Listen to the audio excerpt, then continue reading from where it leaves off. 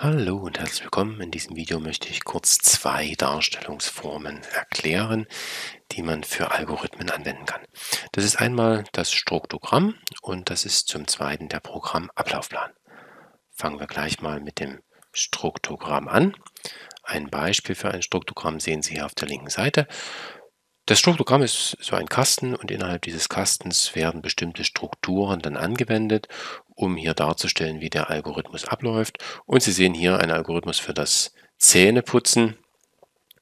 Insgesamt ist das Programm umfasst von, diesem, von dieser Klammer, dem Zähneputzen und dann sind die einzelnen Schritte darin aufgeführt. Also Sie gehen ins Bad, Sie nehmen die Zahnbürste aus dem Behälter, Sie schrauben die Zahnpastatube auf und haben dann schon die erste Entscheidung, vor die Sie gestellt werden, nämlich ist die Zahnpastatube leer.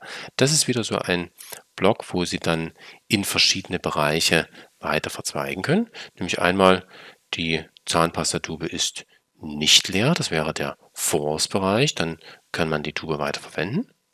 Und wir können dann die Zahnpasta auf die Bürste drücken, putzen und so weiter.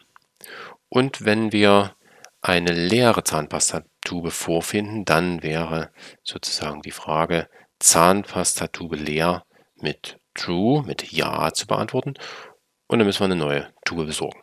Wenn wir die neue Tube besorgt haben, die Komplexität dieses Tube-Besorgens sei jetzt hier mal dahingestellt, dann können wir entsprechend Zahnpasta auf die Bürste drücken und dann bis zum Ende weiterverfahren. Sie sehen, wir haben hier im Prinzip einen Algorithmus, der fast gerade durchläuft, bis auf die Entscheidung, die wir zwischendurch zu treffen haben und wo wir dann in den einen oder anderen Zweig zwischendurch abbiegen müssen. Ein zweites Beispiel sehen Sie hier in der rechten Darstellung. Das ist etwas komplexer, das ist ein mathematischer Algorithmus, das babylonische Wurzelziehen.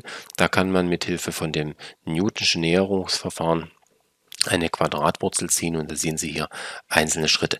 Ich möchte jetzt gar nicht auf das Verfahren im Einzelnen eingehen, sondern ich möchte Ihnen nur zeigen, dass äh, dieses Verfahren aus mehreren Schritten bestehen kann und dass diese Schritte dann auch wiederholt ausgeführt werden, solange bis man auf eine bestimmte Differenz hier zwischen dem alten und dem neuen Wert kommt. Und was müssen wir jetzt äh, dafür im Einzelnen tun? Na, Im ersten Bereich müssen wir erstmal die Eingabe von dem Benutzer abfordern. Das heißt, wir geben etwas aus, willkommen bei der Wurzelberechnung. Wir sagen dann, dass der Nutzer einen x-Wert eingeben soll und verlangen von ihm die Eingabe. Das ist dieser erste Abschnitt und solange wie das x kleiner 0 ist, also solange wie ein unzulässiger Wert eingegeben wird, verlangen wir vom Nutzer eine Zahl. Wir lassen uns also nicht abspeisen mit Werten, die kleiner 0 sind, weil wir von denen keine Quadratwurzel ziehen können, sondern wir verlangen einen Wert größer oder gleich 0. Wenn wir diesen Wert haben, dann können wir in die Berechnung reingehen. Und Sie sehen hier schon eine kleine Strukturbesonderheit in diesem Struktogramm.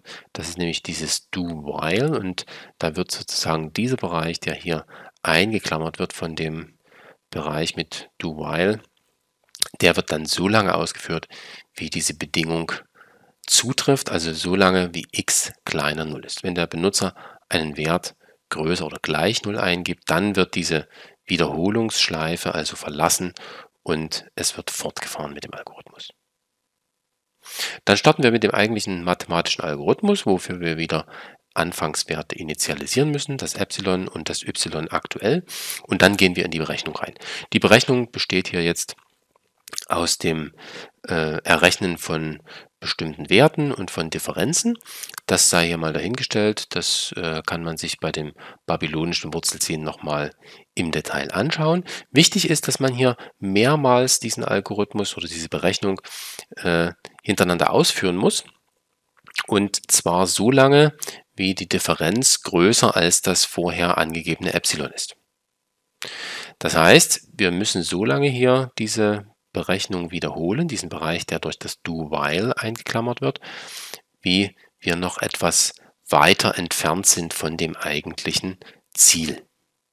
Und erst wenn wir hier mit der Differenz nah genug herangekommen sind, dann dürfen wir diese Schleife verlassen.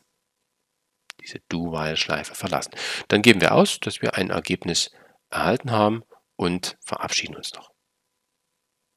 Da sehen Sie also rechts ist das schon ein bisschen komplexer gewesen. Da haben wir einen mathematischen Algorithmus mit Hilfe von Schleifen realisiert. Links hatten wir nur eine einfache Entscheidung zu treffen und sind in den einen oder anderen Zweig hineingegangen.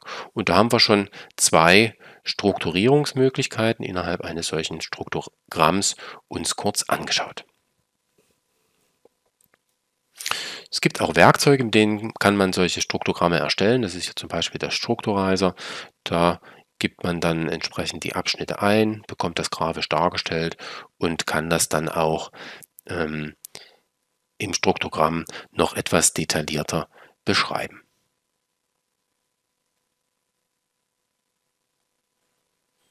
Eine zweite Möglichkeit ist der Programmablaufplan oder abgekürzt PAP. Und das führt zum prinzipiell gleichen Ziel. Wir möchten den Algorithmus systematisch darstellen. Hier haben wir jetzt rechts mal einen etwas einfachen Anwendungsfall, nämlich das Berechnen der Fläche eines Kreises. Da haben wir einen bestimmten Startpunkt. Wir initialisieren Radius und Fläche auf 0. Wir machen eine Ausgabe, um dem Benutzer zu signalisieren, dass er eine Eingabe gleich zu machen hat. Dann darf der Nutzer die Eingabe machen die Eingabe des Radius und wir verwenden dann den Radius in der Berechnung der Fläche nach der entsprechenden Formel. Wir geben anschließend aus und beenden das Programm. Das ist also ein ganz einfacher Ablauf hier mit dem Programmablaufplan dargestellt. Da kann man verschiedene Werkzeuge benutzen, angefangen von PowerPoint bis hin zu diesem äh, webbasierten Programm Draw.io, was beispielsweise auch nutzbar ist. So viel also erstmal zu zwei wesentlichen Darstellungsvarianten und in den folgenden Videos werde ich dann auch noch darstellen, welche einzelnen Möglichkeiten Sie in dem Programmablaufplan haben.